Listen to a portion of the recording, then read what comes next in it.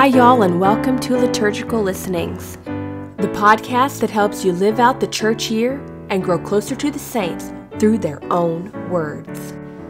This week, we are commemorating the feast of St. Francis of Assisi, celebrated on the 4th of October by both the new and traditional calendar. Our reading for this episode is St. Francis' Salutation of the Virtues, where he speaks on the virtues of Our Lady that we too, as holy souls, should be striving to cultivate in our own lives. And now here follows St. Francis' Salutation of the Virtues. Hail, Queen of Wisdom! May the Lord save thee with thy sister, holy, pure simplicity. O Lady, holy poverty! May the Lord save thee with thy sister, holy humility. O Lady, holy charity, may the Lord save thee with thy sister, holy obedience. O all ye most holy virtues, may the Lord from whom you proceed and come save you.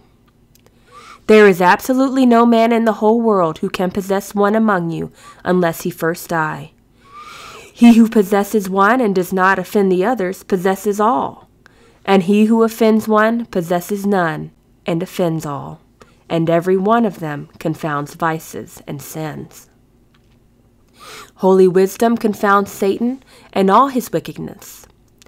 Pure holy simplicity confounds all the wisdom of this world and the wisdom of the flesh. Holy poverty confounds cupidity and avarice and the cares of this world. Holy humility confounds pride and all the men of this world and all things that are in the world.